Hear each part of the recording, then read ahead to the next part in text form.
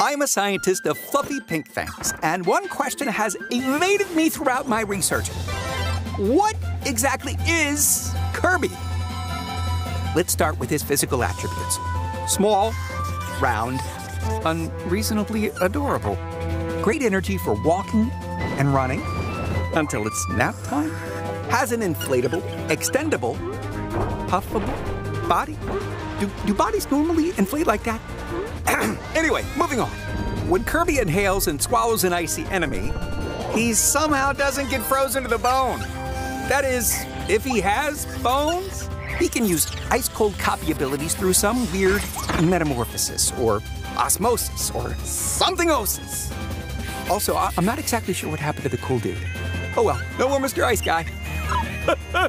Kirby's got a massive appetite, so he can eat almost anything, including cars. And by eat a car, I mean covered entirely with his elastic self and use it as a means of transportation. There's that energy from before. He can walk and run and drive rusted two-door sedans. So, to conclude, what is Kirby?